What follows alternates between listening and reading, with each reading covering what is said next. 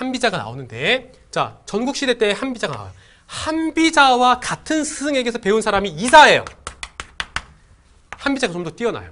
근데 재미난 건 한비자는요 말을 더듬어요. 여러분들이요 세상 살면서 말을 잘하는 사람한테 속으면 안 돼요. 말을 더듬지만 명철한 사람이 있어요. 그게 바로 한비자예요. 그런데 한비자가 더 뛰어나요. 심지어는 진시황제가 한비자의 책인지 몰랐어요. 진시황제 아직 통일하기 전에 전국시대 때 보니까 어 너무 뛰어난 거예요. 야 나는 이 사람을 딱 한 번만이라도 만나면 죽어도 여한이 없겠다라고 할 정도예요. 그래서 이사가 이제 한비자입니다. 딱 가르쳐줘요.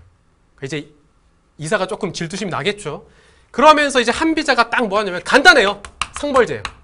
상벌제라는 거 우리는 예전에 수능 개념이나 교과서에서 상황을 통해서 알고 있죠. 그렇죠? 상황. 자, 그래서 상과 벌이에요. 인간은 이기적 존재다. 그래서 그들을 통치하는 데는 상을 주든가 확실하게 벌을 줘야 된다라는 게 한비자 얘기고 이를 실제로 발휘한 사람은 이사인 거예요. 자, 이렇게 보시면 되겠고 어, 정말로요. 진시황제가 한비자를 얻고 싶어서 한나라를 공격했습니다. 이 사람 원래 한나라 출신인데 뭐 그랬다고도 해요. 물론 한나라가 굉장히 약했기도 했고 자, 그런데 이 한비자가 좀 재미나요. 한비자가 순자의 사상을 이어받았어요. 순자. 순자라는 사람은 유교에서 공자가 있고 맹자와 순자를 갈라졌는데 같은 인의 예지를 얘기를 하지만 맹자는 성선설, 인간은 원래 착하다. 그래서 인의 예지를 통해서 더욱더 밝히면 된다라는 쪽으로 가며 순자는 아니다. 원래 악하다라고 얘기해요. 한비자가 그래서 여러분들 거기 설명 보면 나와 있지 않습니까? 원래 이기적인 존재예요. 이기적인 존재를 다스리기 위해서는 엄격한 법의 지배.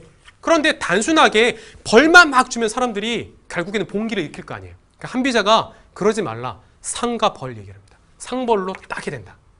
그리고 군주는 직접 백성들을 하나하나 백성 갑, 너 뭐해라, 을 뭐해라 이러지 말고 관료를 다스려라.